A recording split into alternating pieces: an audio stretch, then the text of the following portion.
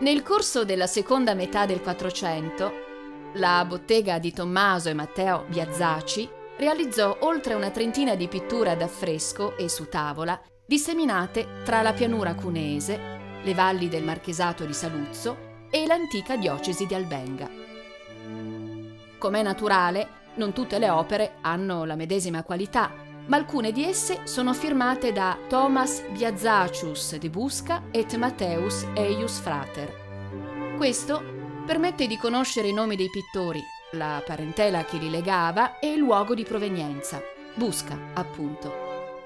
A quell'epoca la cittadina aveva circa 3.000 abitanti e aveva il suo centro vitale lungo la contrada maestra.